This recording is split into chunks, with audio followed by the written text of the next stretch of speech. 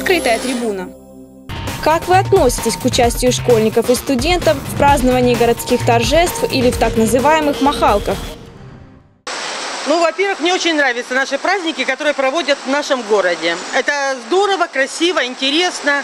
И в свое время мы тоже э, участвовали во всех праздниках, и это было, ну, здорово.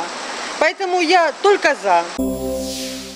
Ну, я против. Почему? Потому что, ну, э, во-первых, всегда, когда навязывается чужое э, мнение, ну и, так сказать, чужая воля, это вызывает протест. Если бы эти школьники самостоятельно, это одно дело. А если они, э, так сказать, под воздействием этих самых, ну, вы поняли меня, э, структур, которые им навязывают, так само, как когда-то было вот колхозы, когда мы ездили отбывать э, повинность, оно ж, а совсем другое дело, когда человек берет фермер сам по себе, он э, вкладывает душу, это вже другое дело.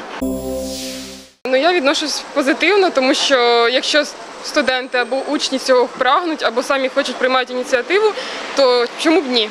Але звичайно, якщо це насильно, то я вважаю, що так не потрібно робити.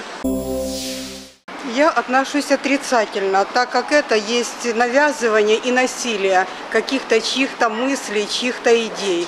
Поэтому это неправильно, и это не должно так быть. Все должно быть добровольно.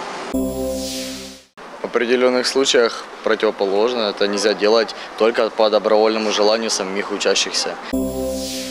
Отношусь к этому абсолютно нормально, не вижу в этом ничего плохого. Я сама в этом участвовала в школьные годы, поэтому вот так вот. Ну, я отношусь к этому нормально, потому что я не вижу в этом ничего принудительного. Открытая трибуна.